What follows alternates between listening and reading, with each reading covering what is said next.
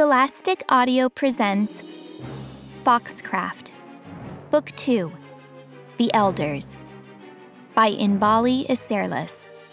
Read by Stephanie Drake. Chapter 1 I didn't stop when I heard the scream. At the edge of the forest, where the tall trees gave over to hunching bracken, I didn't delay and I didn't look back. The wildlands buzzed with peculiar sounds the hooting of birds, the braying of beasts. Tiny insects hummed in clouds and the grass hissed under the wind. Great lands rolled out before me. In the distance, I saw valleys and hills that leaped sharply into the sky. A feeble sun hung overhead. Fields were exposed to watchful eyes without the cover of trees. I would make for the mountain with its fringe of rocks, where I could cling to the shadows. From high over the wildlands, I'd know where to go. I picked up my pace. But the scream tore through my thoughts. The hairs were stiff along my back, the breath sharp at my throat. A drop of rain fell on my nose and I quailed. A fox was begging for help. I pressed through the bracken. It has nothing to do with me, I told myself firmly. Since leaving the great snarl, I'd crept beneath trees in early bud, avoiding anyone I'd sensed on my path, even foxes. Once I had longed to be among my kind, hoping they'd help me find my family. Now I knew the truth that my family was dead, except my brother, Pirie. He was lost to me in the vast green expanse of the wildlands. I would never see Fa, Ma, or Great Ma again. Where my memories of them faded, a dark knot had taken root inside me. I tried not to think of Siffrin, the handsome fox I'd met in the snarl. He'd protected me from the mage's killers, the taken foxes with red rimmed eyes. He had helped me catch prey had led me to shelter. I had come to think of Siffrin as a friend. Trust no one but family, for a fox has no friends. Great Ma had been right about that. Siffrin had deceived me. He'd watched as the mage's skulk killed my family. He'd let me believe they were still alive. He bore the scar like a broken rose the mark of the taken at the top of his foreleg. A mark he had tried to conceal. He had lied from the start. My head peeked over the bracken. The first drop of rain was joined by others. They tapped against the leaves, bouncing and tumbling onto the ground. I paused, ears rotating. For a moment it was quiet, with only the shuffle of leaves in the wind and the patter of rain from the darkening sky. Then the fox cried out again. His voice broke into a series of yelps. Help me! Somebody help me! I can't get out! He started to whimper like a cub, though I could tell that he was full grown. I stalked between the bracken, ears twisting this way and that. I couldn't work out where the voice was coming from. It seemed to be below me, almost as though it had burst from the belly of the earth. I tilted my snout. Up ahead was a tangle of hedge and ivy. Somewhere beneath it was the fizzle of water, perhaps a hidden stream. Was the fox down there? What was wrong with him? I wove a path on tentative paws. Two ravens circled the sky, swooping in shimmering black feathers. One opened its beak with a caw, caw, as I neared the ivy, the rush of water grew louder. Nosing among the leaves, I caught my breath. The greenery fell away swiftly, the land plunging into a gorge. A stream gushed over the rocks below. Please help! cried the fox. I'm stuck! I spotted him at the base of the gorge. He grunted, struggling to pull himself free. I was chased by dogs and slipped down the bank. I didn't see it in time. He gave himself a shake and splashed back into the water. I've caught my paw! He was wheezing and bucking, but his hind leg was pinned between rocks. Ruddy water bubbled over his flanks. Overhead, the rain grew stronger. Rivulets coursed along the bank, swelling the tide below. The fox was huffing and straining. It's getting deeper! The rain! He spat out a mouthful of water. My brush flicked with agitation as I traced the path of the stream. Dark rings ran along the bank of the gorge, high over the fox's head. Watermarks from previous showers. The stream would keep rising. Trust no one but family. The coarse fur flexed along my brush. I tensed to run. This fox had nothing to do with me. He wasn't my problem. I needed to keep myself safe to focus on finding Pirie. I had to keep moving. But my paws stayed planted to the ground. I couldn't just leave him here to drown. My eyes traced the top of the far bank, which was given over to leafy brush. You said dogs were chasing you?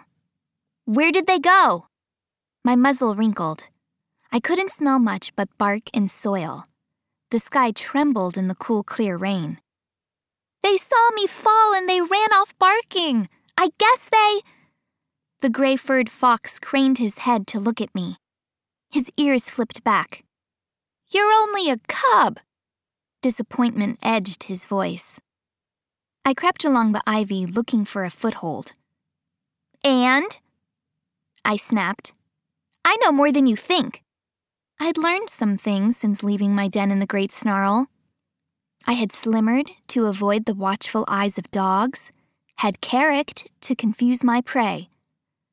I had fed myself on mice and voles, caught with skill I never thought I'd possess. So what if it had been with Siffrin's help? I was managing without him now. The clouds had drawn a veil over the day. Sunlight tumbled into night with scarcely a pause for twilight. The rain grew stronger, licking back my coat.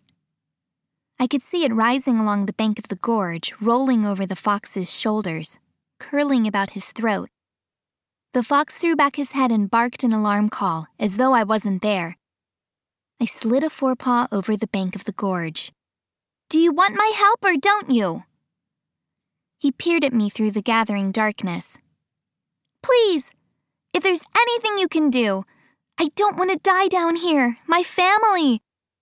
A prickle touched my whiskers. I eased myself over the top of the bank, along the incline of the gorge. The earth was gooey, clinging to my paws in clumps and seeping between the pads.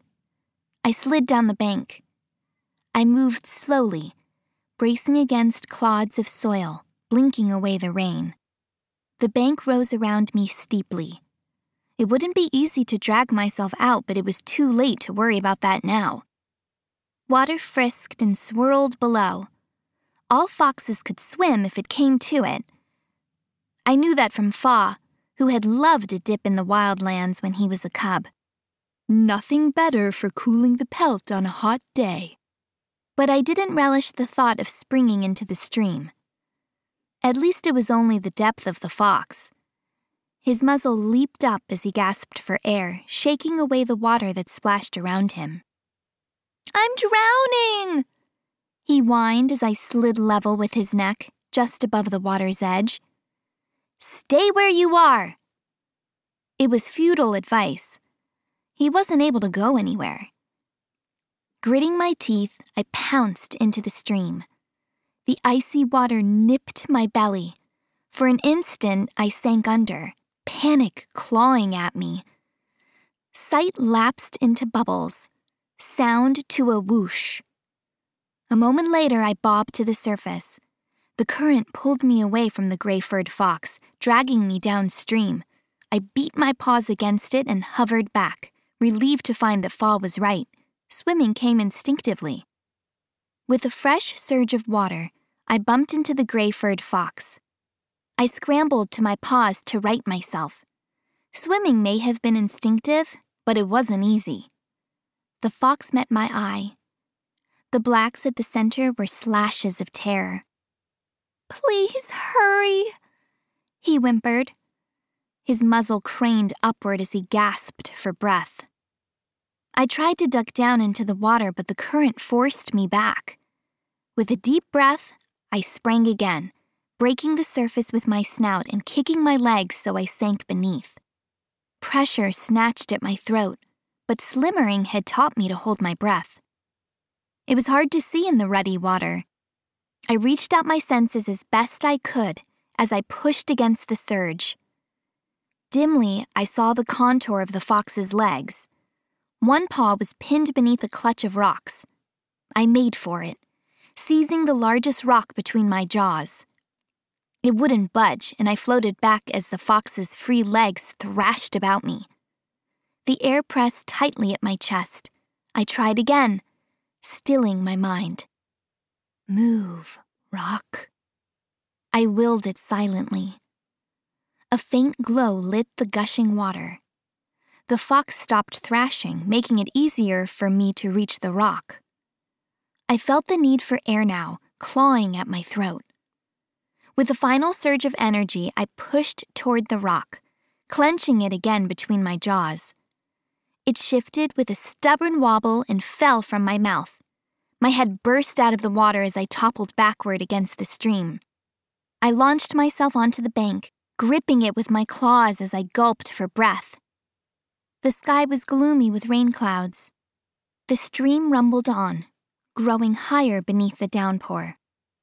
There was no sign of the gray furred fox. Had he sunk beneath the current? My ears pressed back. I remembered the two foxes in the cages at the Snatchers, the ones left behind when I'd escaped. I dragged myself up the bank of the gorge, my paws slipping against the sodden soil. It took the rest of my energy to hook my forelegs over the bank and heave myself up. I collapsed under a spiky hedge, my blood hot despite the bite of the stream and the steady patter of rain. I pictured Pirie with his bright eyes and mottled coat, I wanted to see him as I remembered him, playing in the wild way near our den, chasing beetles in the long grass. I tried to recall his thrashing tail, but the image that came to me was different. Pirie was close, but concealed beneath a fog. As my thoughts melded with his, I could make out dim figures, menacing and unfamiliar. One took a step toward me, and I caught the white glint of his fang. Pirie's voice, very soft. I'm in trouble, Isla. There are shadows here, and trees with branches that catch like claws. I won't give up on you, Pirie. I'll find you, I promise. A gentle nudge stirred me from my trance. At once, my eyes snapped open and my ears were alert. The rain still pattered against the hedge.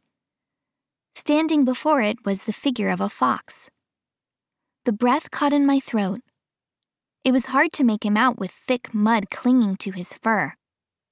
I blinked in confusion. Pirie? The voice that replied was not my brother's. My name is Heike. I think you just saved my life. I frowned, momentarily confused. That hidden stream? He went on. I slipped down and my paw got stuck. I don't know how you freed it. The rock was so heavy. He cocked his head, staring at me in awe. What's your name, Foxling? I blinked in surprise. He hadn't drowned after all. I'm Isla. The fox studied me for a long moment.